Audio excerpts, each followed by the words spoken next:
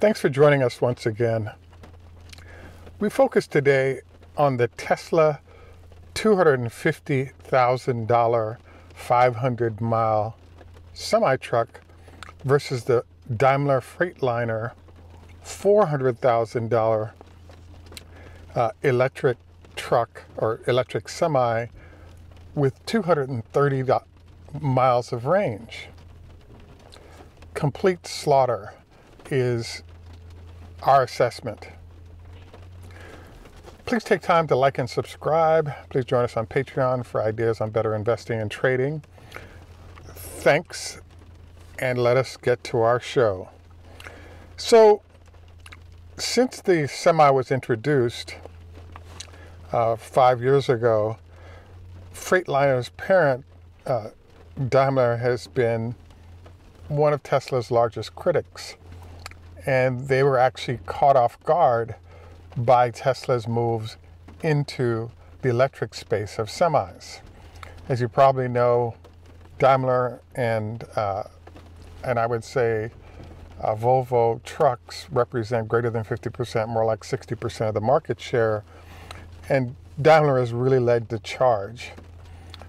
Once Daimler heard about uh, what was happening with the semi, they quickly recognized that they were at a competitive disadvantage, number one, but number two, they basically have an overall strategy of building relationship with current customers uh, to secure sort of charging facilities as well as cabling as a way to try to stay in the game as Tesla makes the move to take over everything. Now, it's been strange, frankly, because with five years lead time to respond to Tesla, we're still in a beta process at many of the Daimler customers. From what we can tell from reading, etc., Daimler has a process going where they're actually giving away free trucks as part of their beta process. And customers, you know, where they already have large numbers of uh, vehicles placed, are really happy to take the free vehicles and give Daimler an opportunity to respond to the Tesla threat. So, uh, from what we've read on the beta process, a lot of customers are taking one or two copies of the current iteration of the eCascadia. They're then uh, uh, spending the time to sort of observe the performance of these vehicles under different circumstances to figure out where they want to go, be it with Daimler or Tesla. Another method that's being utilized by Daimler is they brought together many customers to do joint planning uh, for the e- EVs going forward. So, again, they're trying to reestablish the fact that they already have a working relationship and that they're going to leverage that relationship to optimize uh, customer interests. Um, I have to say again, given that it's been five years uh, for Daimler to prepare, one would have expected uh, a ready Freightliner by now with the help of uh, corporate partner Daimler. Um, the next thing I wanted to do is sort of take a look at the value proposition difference between Daimler and Tesla. It's my assessment, frankly, that Tesla's offering a million dollar vehicle for 250k and you know the folks at Daimler are offering a 400k vehicle um, that that really can't meet the performance specs that Tesla's laid out there. In particular, we could just go through the basic numbers that are, exist now. As I said in the opening, number one, we have this issue of uh, Daimler's charging $400,000 for a 230 mile range vehicle. And given the fact that the vehicles are sort of unseasoned, not with real customers performing on the regular, one would have to say that, you know, it's really a beta or a test vehicle that's still in the hand of customers and that they haven't uh, sort of stamped as a finished product that can be broadly distributed. I would say the next sort of performance parameter is, as you know, Tesla's at 250k approximately, Daimler's at 400k. Tesla's offering 500 miles of range, Daimler's offering 230. So in essence, Daimler's offering half the range uh, that Tesla currently is, um, you know, for double the price. And I've been thinking about this show for the last three months, and every time I repeat those two numbers, I have to say I'm kind of stunned because as a corporate buyer, yes, you can leverage off the relationship you already have with Daimler Benz, but in essence, you'd have to buy two Daimler trucks to equal what, if you will, the performance of one Tesla truck will do. And given a business where margins can be tight, et cetera, I have a hard time figuring out how uh, Daimler and Volvo and the other big competitors stay in the game with a competitive threat that performs like Tesla does. So uh, I'm hopeful that they actually sort of pull something together that's a better solution than we've seen because it could end up being uh, a fairly rapid route.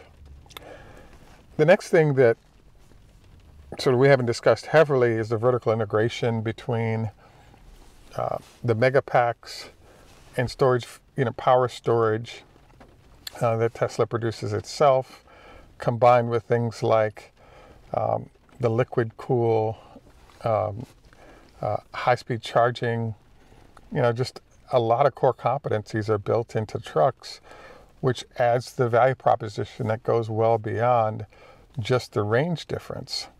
Uh, so I'd have to say that um, I really am shocked, and I thought that we'd get a lot more robust response uh, from uh, from all the Tesla competitors than this when we look at the, the largest vehicles.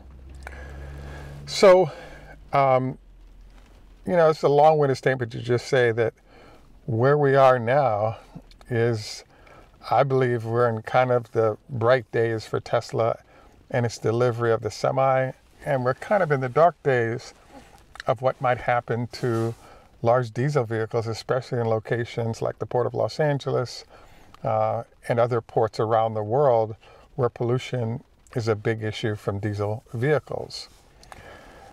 The uh, the beginning of the show, you know, we chose to do a clip as Elon was discussing some of the competitive advantages that Tesla has in terms of R&D as well as testing from sharing parts between cars and and trucks. And this is something that's typically definitely not done because the whole trucking business for standard ICE vehicles is so different. But this is another competitive advantage that Tesla offers is being able to spread the R&D costs into the truck across uh, a broad range of, uh, of vehicles and therefore having the number of iterations that are out there. So I just think that the number of fronts that uh, Tesla is leading and then delivering that into the into uh, their trucks, I really felt like there's a difference between going to graduate school for your PhD versus you know a really good high school student entering college. You know, it should be that the ICE competitors that have been in business for 100 years should really be dominating here because they've had customer relationships for that long. But they seem to have dropped the ball over the last five years because all of Tesla's core competencies are in evidence and they're coming together to pretty much destroy uh, the traditional ICE industry. So we look very much forward to your comments on all this. I believe this is one of the reasons why, you know, I think we get a nice pop for Tesla on the recovery front when you add up how many Cybertrucks are going to be sold combined with the semi starting to roll out and that revenue starting to run in as well. I just think that there's a path towards you know, new and large growth for Tesla that represents real opportunity for the stock, but not immediately. We're definitely on a uh, sort of time horizon for this all to come together. So, again, we look forward to your comments uh, and please take time to share. I would also like to encourage you to like and subscribe. Uh, next, I'd like to briefly dive into our health tips. There's a professor that I ran into who's an who's a MD PhD and teaches at the University of Louisville, and he is a specialist in what's called upper respiratory cancer. What he explained is that right now people are really really busy, and based on that busyness, there's a trend towards eating and then immediately jumping in bed. And what happens is the stomach bile or acid that digests your food will actually roll up into the upper respiratory area, as this is done a lot, and actually cause cancer. So his recommendation is that one delay going to bed uh, for at least two hours after eating. And ideally, one should delay the bedtime for at least four hours to allow everything to digest before you go to bed. So I think that's the health tip that I'd like to present for today uh, as part of our routine effort for you to have uh, a healthier outlook and a healthier life based on things that we're discussing. any rate, um, this is Greg for Tesla Fan Insight.